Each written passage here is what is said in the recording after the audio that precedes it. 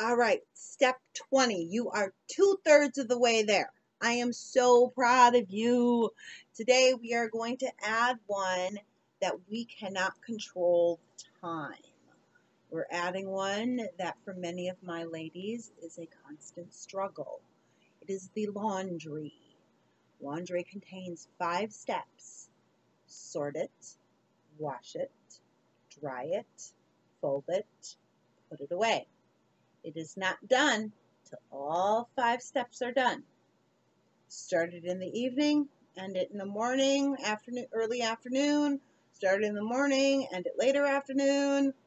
Unfortunately, we can't make it go any faster. But if you do a load of laundry a day, you will be able to keep up. You won't get this over mound, the Mount Washmore okay? You know what clothes you have because they're in your closet. Maybe that's the problem. Maybe we have too many clothes in our closet. Maybe it's time we go through them. It's the beginning of the year. Switch your hangers around. By the end of the year, you haven't worn them all, or by the time it's time to switch them out, get them gone. There's a reason you're not wearing them. So, I will see you tomorrow for step 21. Woohoo!